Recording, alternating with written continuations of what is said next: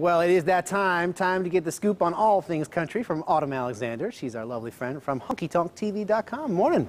Morning, Andy. And pretty exciting that Nashville can tune in today. We're happy to welcome the home of country. Absolutely, absolutely. Yay, Nashville. Welcome, Nashville.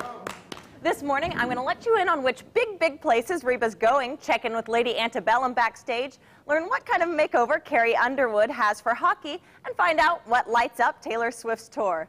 First up, Reba McEntire. She's headed to the big, big screen by filming an IMAX documentary on the history of the state of Wyoming. She's also scheduled on the big, big stage with her first appearance on the Grand Ole Opry in nearly a decade. Next up, Lady Antebellum is hard at work opening Kenny Chesney's current Sun City Carnival tour. Here's a sneak peek into what group member Hillary Scott had to say before one of their shows. It looks like there are going to be a lot of people out there. Looking forward to a great show.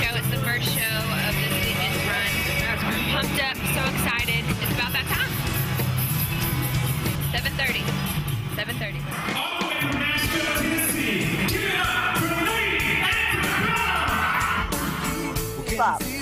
Carrie Underwood seems quite smitten with her boyfriend, Ottawa Senators hockey player Mike Fisher, but she admits that she has a lot to learn about the sport. She does suggest one little thing to make hockey more enjoyable for her a neon pink puck. Not just for cosmetic reasons, Carrie told a Chicago radio station that she can't see very well, and the pink puck would make the game a little easier to follow. Carrie also enjoys that little show called American Idol. You might have heard of it, but don't expect her to tell you who her favorite is. She explains that when she was on the show, famous people would come talk about who their favorite was, and she said, if it wasn't me, I still hold a grudge, and I won't watch their TV shows. Next up, I want to talk about another tour that is a must-see this summer. Taylor Swift just headed out on her first headlining tour, complete with semi-trucks and dancers. But the show's most unique feature is that the entire stage is projectable, allowing it to change with every song.